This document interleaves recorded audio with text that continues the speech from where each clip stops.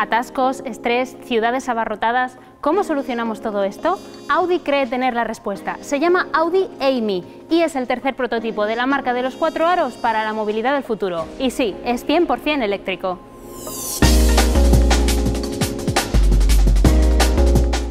Tras el Audi Icon y Audi PB18 e-tron, llega el turno de este nuevo concept que con sus 4,30 metros de largo, 1,90 metros de ancho y 1,52 metros de alto, unas dimensiones muy compactas, no tendrá problema para hacerse hueco en las grandes urbes, dentro de la filosofía de los coches compartidos.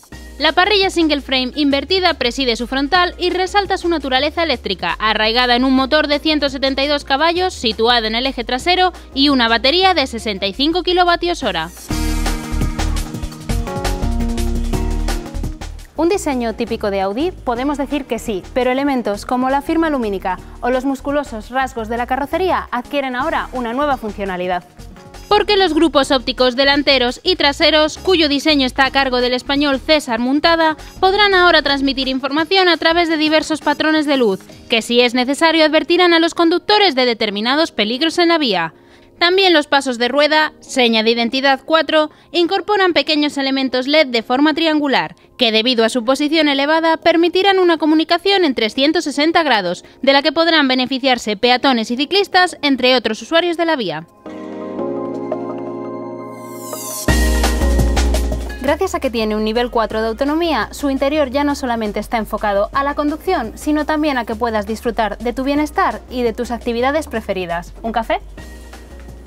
Entre sus múltiples tecnologías a bordo destaca el volante retráctil, que se guardará bajo el salpicadero en modo autónomo, y el hecho de que hayan añadido superficies magnéticas en el salpicadero, para que en caso de que el conductor decida ir comiendo o bebiendo durante el trayecto, los platos y vasos metálicos puedan sujetarse. Por cierto, la gran pantalla OLED en tres dimensiones que recorre todo el parabrisas, desde la que se controlan las distintas funciones del vehículo, como la navegación, puede ser controlada mediante el movimiento de los ojos.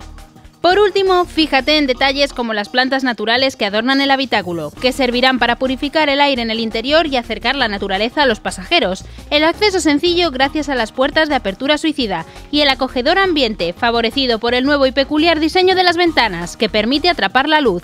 Toda una apuesta por el confort y el bienestar que podría hacerse realidad muy pronto.